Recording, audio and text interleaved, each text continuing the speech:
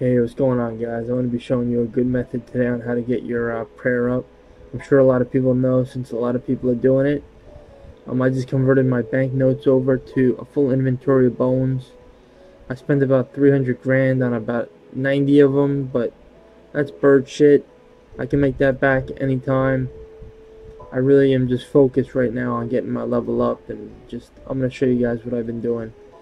First things first, I am in I forgot the name of this. Rimmington. Okay.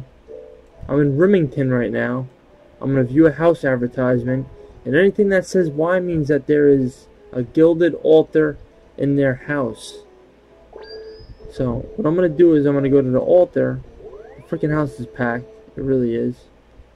It's to be expected, though, because a lot of people are doing their thing here. Use the dragon bones on the altar. As you can see, I'm praying getting some nice little um, experience. Nothing too shabby, you know, nothing too bad.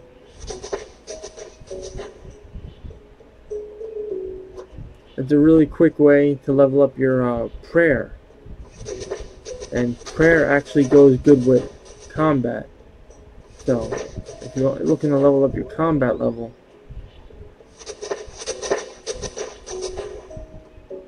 do it hope I don't run out. I'm gonna have to go to get some more bones. I have enough money, but it's just a tedious process, you know? It can be kind of heart-wrenching at times. But that's my uh, video for, you know, tonight, guys. I hope you enjoy it.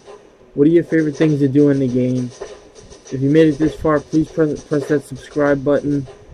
You know, I'm looking, I'm looking to really get, you know, grow my uh, channel and you know, I'm looking to grow my uh, TikTok and stuff like that. So just let me know what you guys think, alright? Deuces.